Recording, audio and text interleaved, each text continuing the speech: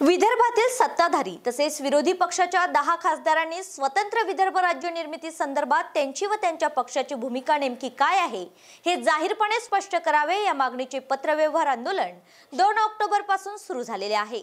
विदर्भ राज्य मिळवून देण्यास लोकप्रतिनिधी म्हणून व सत्ताधारी पक्षाचे खासदार सरकार म्हणून अपयशी ठरले आहे.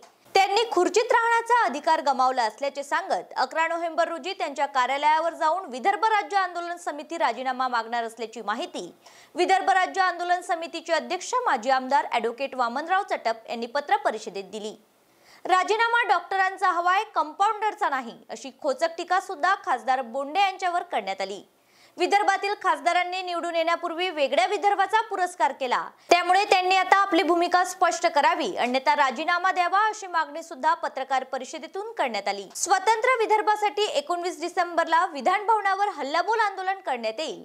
पत्रकार परिषदेला विदर्भ राज्य आंदोलन समितीचे जिल्हाध्यक्ष राजेंद्र आगरकर संतोष प्रेमलवार सुनील साबळे डॉक्टर विजय कुबडे महिला अध्यक्ष रंजना मामर्डे नरेंद्र कठाणे उपस्थित होते. एकोणीस तारखेला आम्ही संवि अधिवेशनावर जातोय हल्लाबोल करतोय आणि राज्याचे उपमुख्यमंत्री आणि वनमंत्री जे पूर्वी भाजपाचे राज्याचे अध्यक्ष होते त्यांना म्हणतो की तुम्ही कबूल केलं होतं. विदर्भाचा जागर करताना तुम्ही दिल्लीला जा ऐशी तैशी करा आणि केंद्र सरकारला राज्य द्यायला भाग पाडा अशी पृच्छा करायला आम्ही विधानसभेत हल्लाबोल आंदोलन करतोय.